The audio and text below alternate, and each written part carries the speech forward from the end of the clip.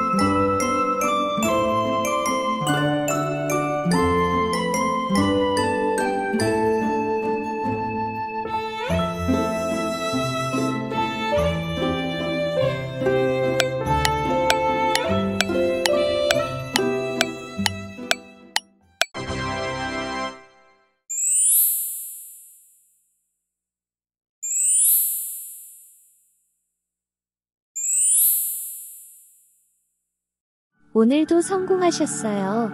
축하드립니다. 저는 다음 문제에서 또 기다리고 있을게요. 구독, 좋아요, 알림 설정도 감사합니다.